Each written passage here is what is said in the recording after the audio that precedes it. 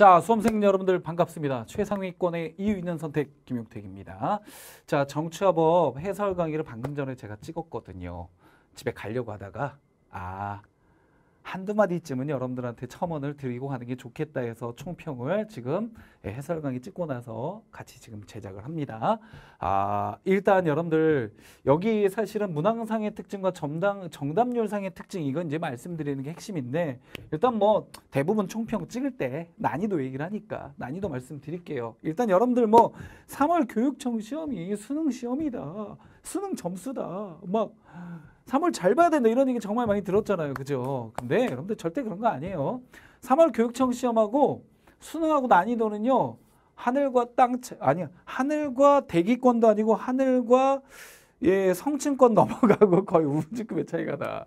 무슨 얘기냐면 당연히 이번 교육청 문제 난이도가 예, 수능과 비교한다면 수능과 비교한다면 매우 낮은 난이도예요. 수능은 훨씬 어렵습니다. 이거보다. 그런데 어, 작년 3월과 비교를 한다면 난이도가 조금은 올라가지 않았나 이런 생각이 들어요. 그러니까 이게 사실 만점 맞기는 쉽지 않은 그런 시험이었어요. 일단 뭐 당연히 만점 맞기 어려운 이유는 여러분들 완강을 못했죠. 개념 완성반 강좌를 이제 보통 이제 3월 한 중순까지는 네, 저를 비롯해서 다른 선생님들 다 완강을 하셨을 텐데 여러분들이 완강이 됐는지는 좀 의문이 있잖아요. 물론 완강이 되신 분들이라 하더라도 어, 사람의 기억이란 건 완벽하지는 않기 때문에 아유 죄송합니다. 사람의 기억이란 건 완벽하진 않고 또 까먹기 때문에 뭐 한두 문제, 두세 문제 정도 틀릴 수 있죠. 그죠? 네, 어쨌든 간에 전범위로 출제됐기 때문에 일단 여러분들한테 좀 어려웠을 거라고 봐요. 그렇지만 실제 난이도는 그렇게 높은 문제들은 아니었고 뭐 와 이런 것도 문제를 냈어? 뭐 이런 거는 또 별로 없었어요. 그러니까 이 이번 점수를 가지고 막 못 봤다고 해서 어떻게 어떻게 어떻게 와 이게 수능 점수란 절대 그럴 필요 없어요. 열심히 공부하면 잘 나오게 돼 있어요.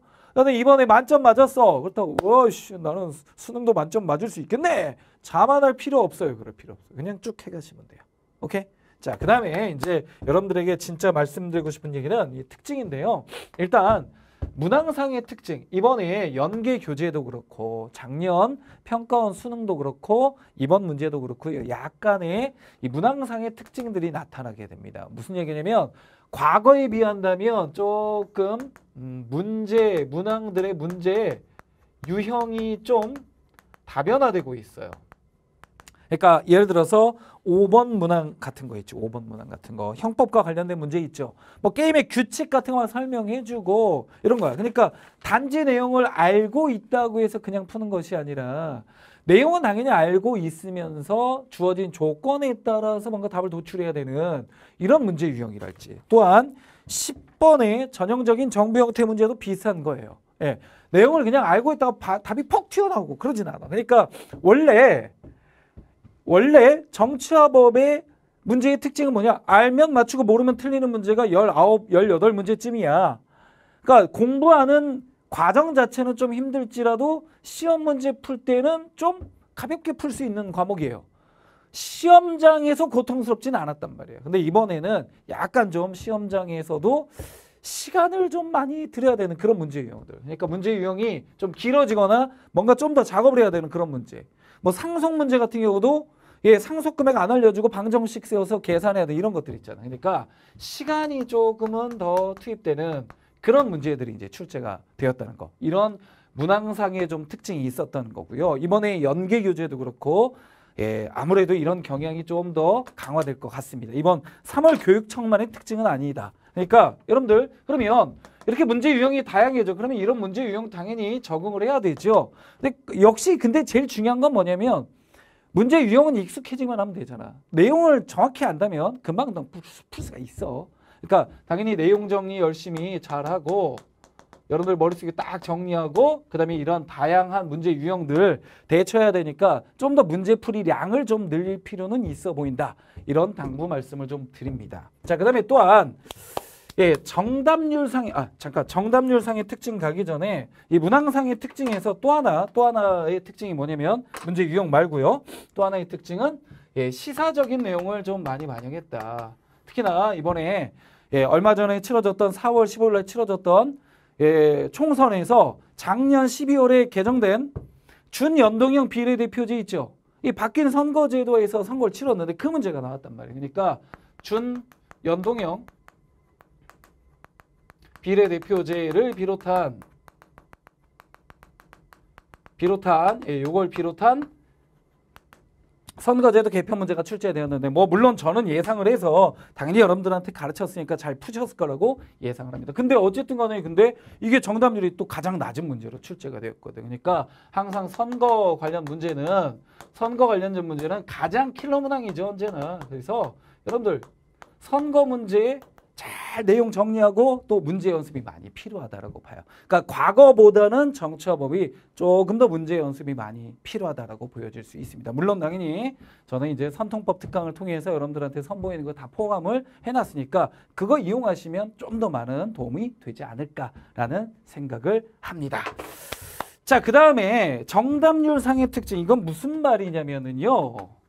이게 오답률이 높았던 문제들 있죠. 유독 여러분들이 어려워했던 문제들이 어디에 집중이냐. 당연히 선거는 당연한 거고 선거는 언제나 그래요. 이건 기본 베이스야.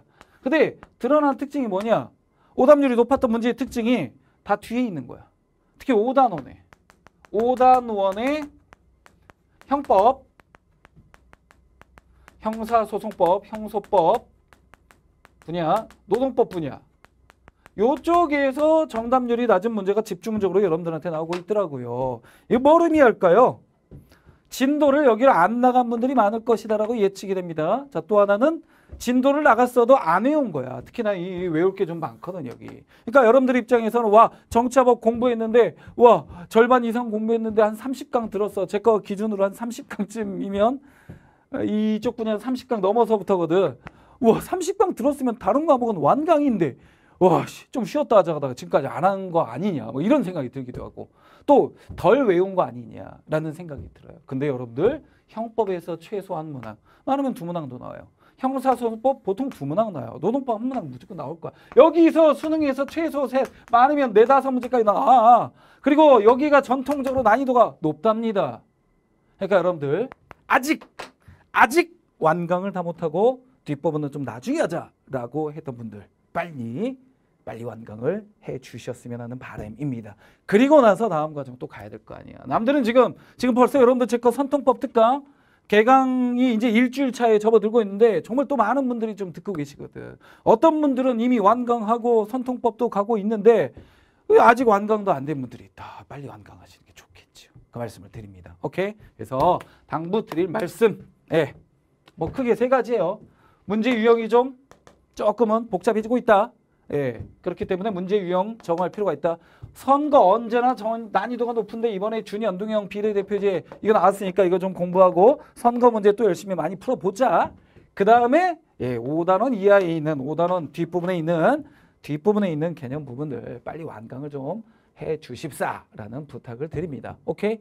자, 이렇게 해서 여러분들 총평 내지는 당부 말씀 여기서 마무리하도록 하고요. 언제나 여러분들 항상 건강, 지금 진짜 건강이 중요하잖아. 언제나 항상 건강하고 밝은 모습으로 공부를 계속해 주셨으면 좋겠고요. 다음 모의고사 보고 나서 또다시 여러분들 해설 강의나 총평에서 찾아뵙도록 하겠습니다. 저는 이만 여기서 물러가도록 하겠습니다.